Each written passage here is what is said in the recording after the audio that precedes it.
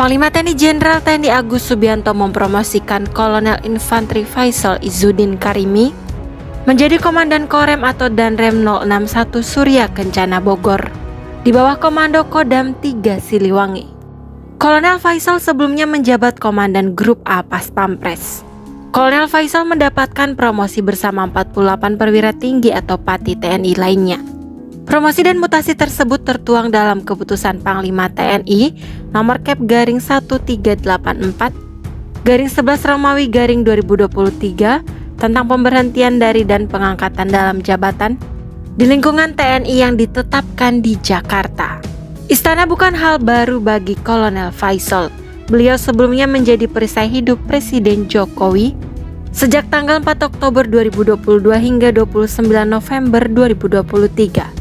Untuk diketahui grup Apas Pampres bertugas khusus mengamankan Presiden Republik Indonesia beserta keluarganya. Dengan menjabat dan rem 061 Bogor, beliau akan pecah bintang. Dalam waktu dekat ini, Kolonel Faisal akan menerima kenaikan pangkat menjadi bintang 1 atau Brigadir Jenderal atau Brigjen. Dalam artian beliau menjadi orang pertama di angkatannya, yaitu Akmil 1999 yang sudah menjadi Brigjen. Seperti apa sepak terjang Kolonel Infanteri Faisal Izzuddin Karimi di dalam dunia militer? Langsung saja simak ulasan berikut ini.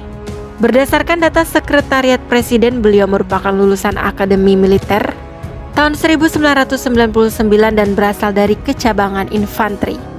Pati kelahiran Gresik 22 April 1977 tersebut sebelumnya pernah bertugas sebagai perisai hidup Presiden Jokowi. Beliau pernah menjabat sebagai Komandan Detasemen Pampri. Kemudian dirinya juga ditunjuk menjadi Komandan Detasemen 1 Grup A Pas Pampres.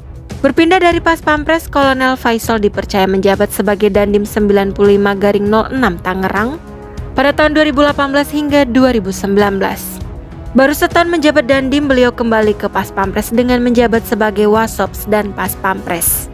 Pada periode 2019 hingga 2020, pada 2020 hingga 2021, Pak Faisal selanjutnya menduduki jabatan sebagai Komandan Brigif 26 Gurana Piara Waimo, Kodam 18 Kasuari yang bermarkas di Kabupaten Teluk Bintuni, Papua Barat.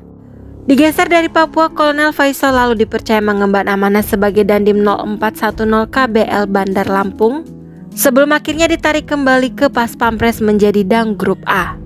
Dan kini beliau menjabat sebagai Komandan Korem 061 Surya Kencana sekaligus promosi pangkat bintang baginya.